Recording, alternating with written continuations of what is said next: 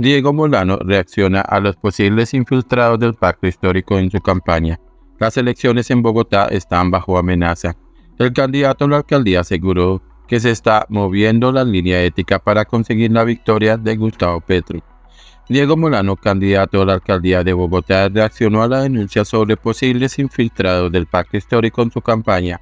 De acuerdo con el ex ministro de Defensa, la democracia está bajo amenaza, así como las elecciones en la capital del país. La democracia está bajo amenaza.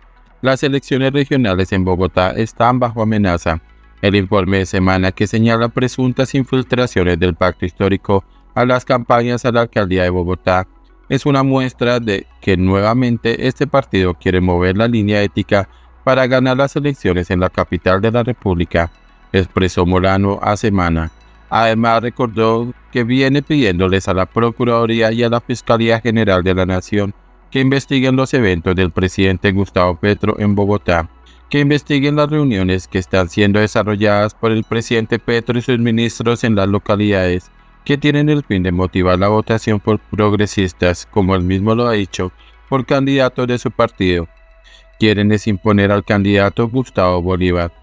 Estas declaraciones de infiltraciones nuevamente señalan cómo puede estarse moviendo una línea ética para destruir, para mentir, para generar investigaciones y utilizar recursos públicos, como los de la RTBC, para enlodar la imagen y generar ambientes que afecten la elección, indicó. Finalmente, el exministro radicó un oficio ante la Fiscalía General de la Nación para que se investigue este indicio.